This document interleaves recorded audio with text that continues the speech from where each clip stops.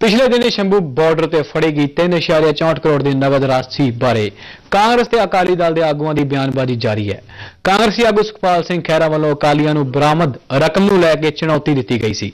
ਅੱਜ ਪਟਿਆਲਾ ਵਿਖੇ ਪ੍ਰਾਪਤ ਰਕਮ ਦੇ ਮੁੱਦੇ ਤੋਂ ਪੱਲਾ ਝਾੜਦੇ ਹੋਏ ਸੂਬੇ ਦੇ ਮੁੱਖ ਮੰਤਰੀ ਪ੍ਰਕਾਸ਼ ਸਿੰਘ ਬਾਦਲ ਨੇ ਕਿਹਾ ਕਿ ਸਰਕਾਰ ਦਾ ਇਸ ਮਾਮਲੇ ਨਾਲ ਕੋਈ ਲੈਣਾ ਦੇਣਾ ਨਹੀਂ। ਤੇ ਉਹਨਾਂ ਦੋਸ਼ ਲਾਇਆ ਕਿ ਕਾਂਗਰਸੀ ਆਗੂ ਐਵੇਂ ਹੀ ਝੂਠ ਦਾ ਪੁਲੰਦਾ ਬਣਾਈ ਬੈਠੇ ਨੇ।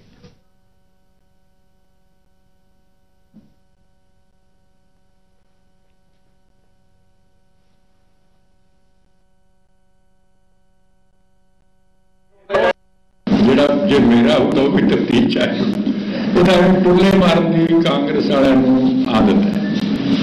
ਐਵੇਂ ਪਿੱਛੇ ਵੀ ਜਦੋਂ ਇਲੈਕਸ਼ਨ ਸੀ, ਉਦੋਂ ਅਸਰਾ ਮਨਿੰਦਰ ਸਿੰਘ ਨੇ ਕਿੰਨੇ ਦੂਸ਼ਣ ਲਾਏ, ਮੇਰਾ ਕਹਿੰਦਾ ਕਿ ਕੋਈ ਮੁਲਕ ਛੱਡਿਆ ਨਹੀਂ ਜਿੱਥੇ ਮੇਰੀ ਪ੍ਰਾਪਤੀ ਦਸ ਦਸ ਹਜ਼ਾਰ ਏਕੜ, ਇੱਕ ਵੀ ਸਾਬਤ ਨਹੀਂ ਹੋ ਸਕਦਾ।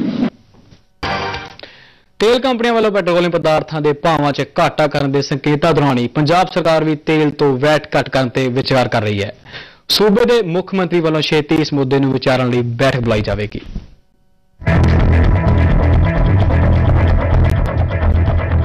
ਪੰਜਾਬ ਸਰਕਾਰ ਵੱਲੋਂ ਪੈਟਰੋਲ ਤੇ ਲਾਏ ਗਏ ਟੈਕਸਾਂ ਨੂੰ ਘੱਟ ਕਰਨ ਦੇ ਪੈ ਰਹੇ ਦਬਾਅ ਦਾ ਅਸਰ ਦਿਖਾਈ ਦੇਣ ਲੱਗਾ ਏ।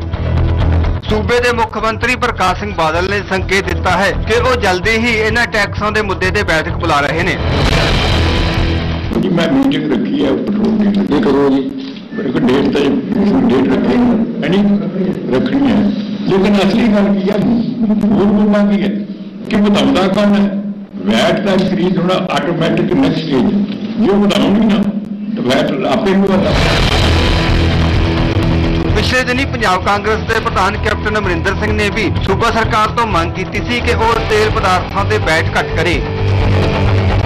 ਕਿਉਂਕਿ ਹੋਰ ਰਾਜਾਂ ਦੇ ਮੁਕਾਬਲੇ ਪੰਜਾਬ ਵਿੱਚ ਪੈਟਰੋਲ ਉੱਤੇ ਕਰਾਂ ਦੀ ਦਰ ਸਭ ਤੋਂ ਵੱਧ ਹੈ। ਉਧਰ ਤੇਲ ਕੰਪਨੀਆਂ ਵੱਲੋਂ ਵੀ ਤੇਲ ਦੇ ਭਾਵਾਂ ਵਿੱਚ ਗਿਰਾਵਟ ਕਰਨ ਦੇ ਸੰਕੇਤ ਦਿੱਤੇ ਗਏ ਨੇ। ਅਜਿਹੇ ਵਿੱਚ ਸੂਬਾ ਸਰਕਾਰ ਵੱਲੋਂ ਰੇਟ ਘੱਟ ਕਰਨ ਨਾਲ ਲੋਕਾਂ ਨੂੰ ਥੋੜੀ ਰਾਹਤ ਮਿਲੇਗੀ।